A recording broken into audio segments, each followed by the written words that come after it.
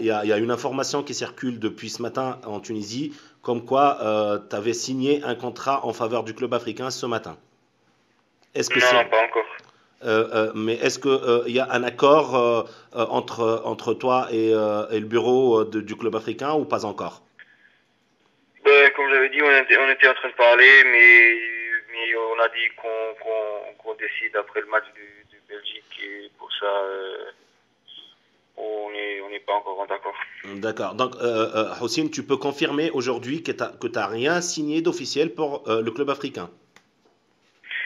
Ben, Comme je dis, il y a le match de Belgique, là, c'est plus important, et après, après le match, on verra. On verra. Non, mais moi, c'est juste pour, pour que les gens comprennent, euh, tu n'as pas signé de contrat en faveur du club africain non. Ok, merci beaucoup Stéphane, et bon match demain.